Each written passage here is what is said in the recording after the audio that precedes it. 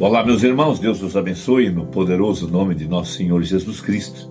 É sempre uma grande honra e um grande privilégio quando nós nos juntamos aqui ao redor da palavra, sempre meditando naquilo que é relevante, naquilo que pode elevar nossa fé.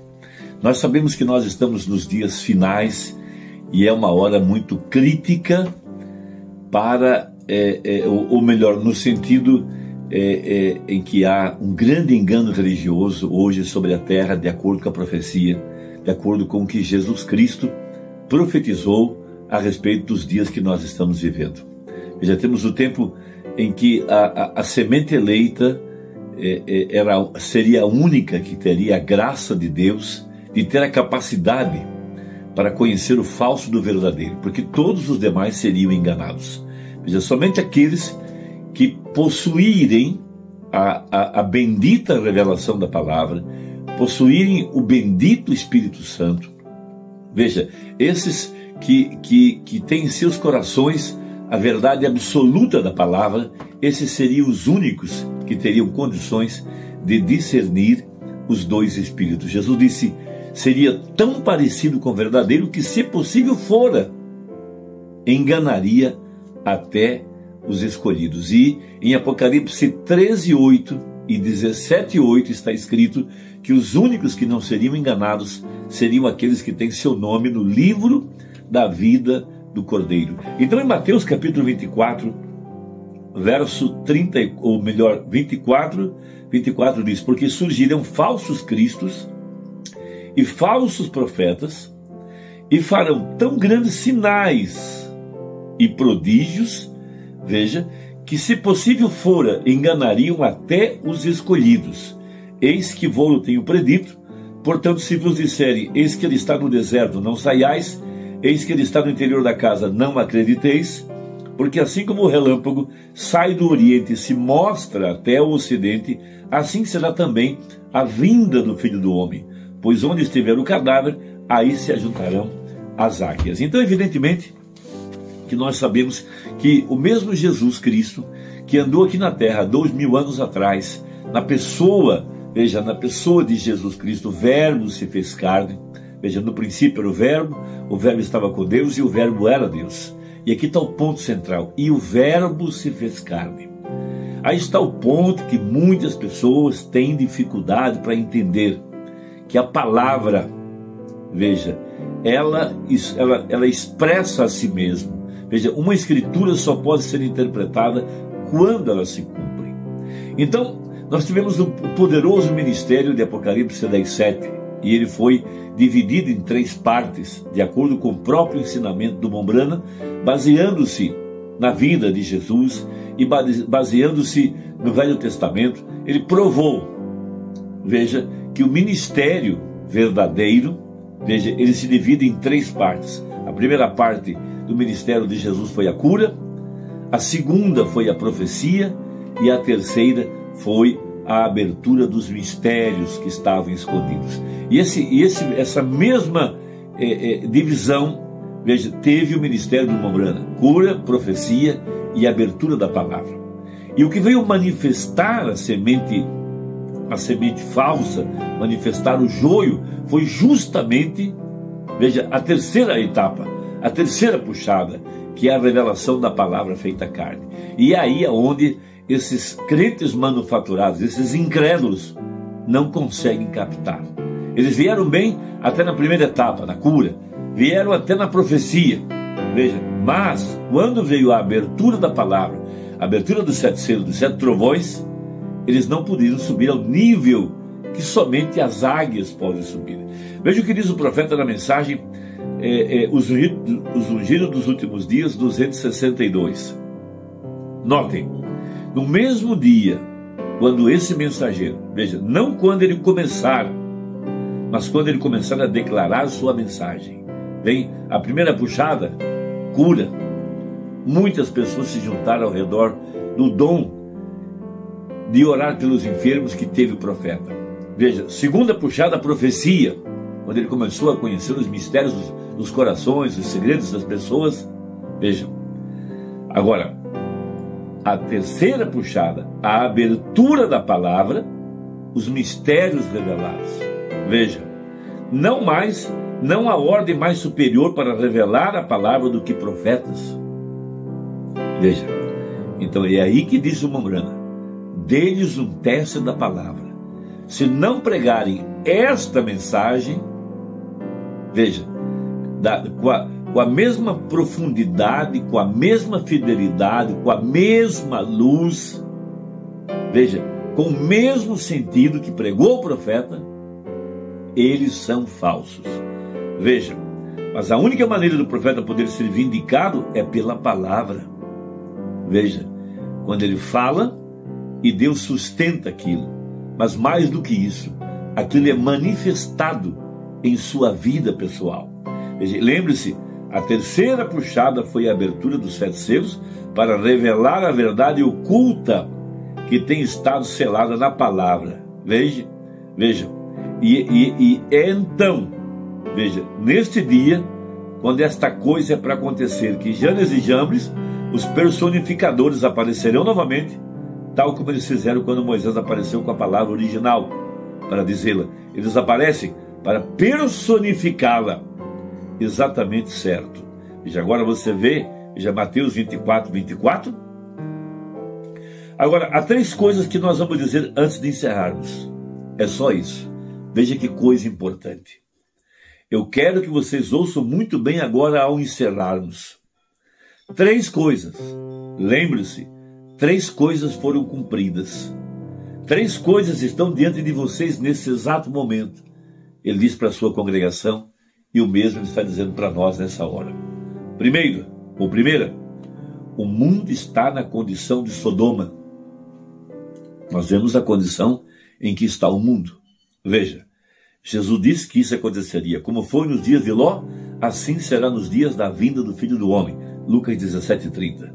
Vejam, veja a perversão. Nossas mulheres tentando agir como homem, nossos homens tentando agir como mulheres, afeminados, veja, é, podres, imundos, depravados, endemoniados e não sabem. Veja, escuridão sobre os povos, disse Isaías. A Bíblia disse que isso aconteceria. Veja, eles andam da forma que andam, vivem da forma que vivem, porque não creem na palavra, não sabem nem no que, é, no que tropeçam. A condição moral, eles não sabem mais o que é puro e o que é impuro, o que é decente e o que é indecente, o que é correto e o que não é correto diante de Deus. Apartaram-se completamente da verdade. Veja, segunda, é nesta hora, de acordo com a escritura aqui, que Janes e Jambres aparecem. Veja, personificadores. Veja, aí nós temos os, os chamados neopentecostais, que têm os dons espirituais, fazem milagres, fazem sinais, veja, maravilhas, e é pelo Espírito Santo.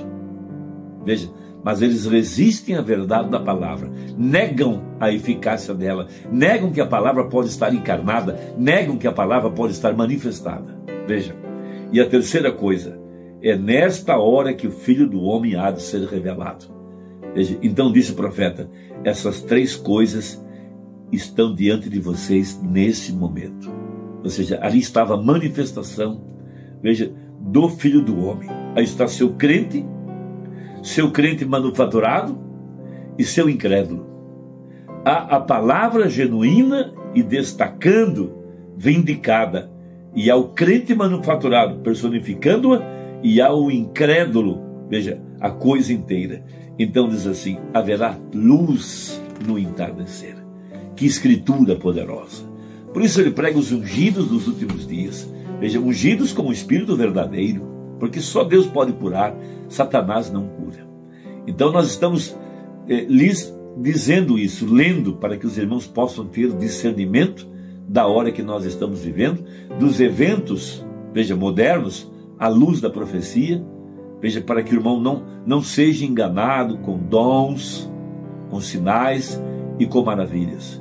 Note se estão pregando a mensagem da forma como ela foi pregada, com o entendimento, com a luz pregada pelo profeta, sem tirar nem acrescentar nada. Dê a esses falsos profetas o teste da palavra e você verá que são falsos, porque eles resistem à verdade, porque não podem crer, não podem entender. Veja, agora, é, do, do 269, eu quero que vocês saibam que isso é seguro e você que ouvir esta fita, você poderia ter pensado hoje que eu estava tentando dizer sobre mim mesmo. Veja, sendo que eu estava levando esta mensagem. Eu não tenho nada mais do que nada a ver com isso, nada mais do que apenas uma voz. Veja, e minha voz, até mesmo contra o meu melhor julgamento. Eu queria ser um caçador de animais com armadilhas, disse ele, mas é a vontade de meu pai que declaro fazer e estou determinado a fazer. Veja, isso é muito importante. Veja, os espíritas acreditam que o diabo pode tomar o corpo de uma pessoa e falar através daquele corpo. E o estranho é que os crentes não, não, não querem acreditar que Deus pode tomar um corpo humano de um servo dele, um profeta, veja, e usar esse corpo para manifestar Sua palavra, manifestar seu espírito. Veja, trazendo as mesmas obras, o mesmo caráter, a mesma luz, a mesma revelação, para mostrar o cumprimento das Escrituras. Veja, não fui eu aquele que apareceu lá no rio. Veja, veja na mensagem nas asas de uma pomba branca, quando o profeta estava dentro da água, aquela luz apareceu no céu, estava circulando e daquela luz veio uma voz, e era uma voz sobrenatural, uma voz divina. Veja, testemunhando que ele precursaria sua primeira vinda. A palavra, o verbo, veja, aquela luz era aquela palavra de Gênesis, haja luz. Veja, e ela, quando, quando ela apareceu, ela deu início à noiva. Veja, deu início à noiva do tempo do fim, para separar a luz das trevas. Veja, a, a mesma luz. Por isso, por isso diz, diz a Escritura: assim como o relâmpago brilha do, do Oriente ao Ocidente. Veja, o mesmo Jesus, lá atrás, dois mil anos, veio na água. Veja, agora aquela luz estava encarnada, o Verbo veio até onde estava João, na água. A palavra veio ao profeta. E aqui no tempo do fim, a palavra também veio ao profeta, porque aquela luz é a palavra manifestada. Então veja, eu estava somente de pé lá quando ele apareceu. Não sou eu quem realiza essas coisas e prediz essas coisas que acontecem tão perfeitas como são. Veja, eu sou somente quem está perto. Veja, quando ele o faz, eu fui somente uma voz que ele usou para dizê-lo.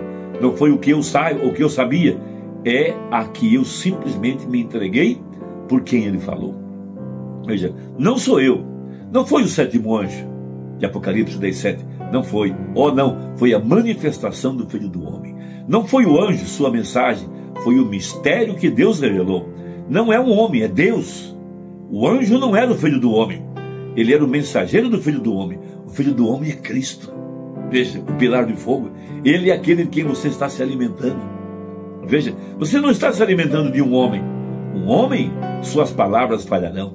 Mas você está se alimentando do infalível corpo, palavra, do Filho do Homem, da palavra feita carne. Veja, se você não tem se alimentado completamente de toda a palavra, para dar-lhe força para voar acima de todas essas eliminações e coisas do mundo, quer fazer isso nesta hora, enquanto oramos? Esta é a mensagem, meu irmão. Que o Senhor Jesus ilumine o seu coração, que Ele abra seu entendimento, que ele tire o véu dos seus olhos para ver. Veja, que o irmão não é o filho do homem, ele não é a luz, mas ele veio revelar, veio falar dela, para, para que nós pudéssemos crer na luz, crer no Senhor, crer em Jesus Cristo. Meu irmão, minha irmã, Deus te abençoe. Veja se sua inscrição está ativa, aperta aí no gostei ou não gostei, veja para que a plataforma entenda que o vídeo é relevante e possa é, é, sugerir para outras pessoas também assistirem. Deus te guarde, Deus te abençoe. Até a próxima, em nome de Jesus. Amém.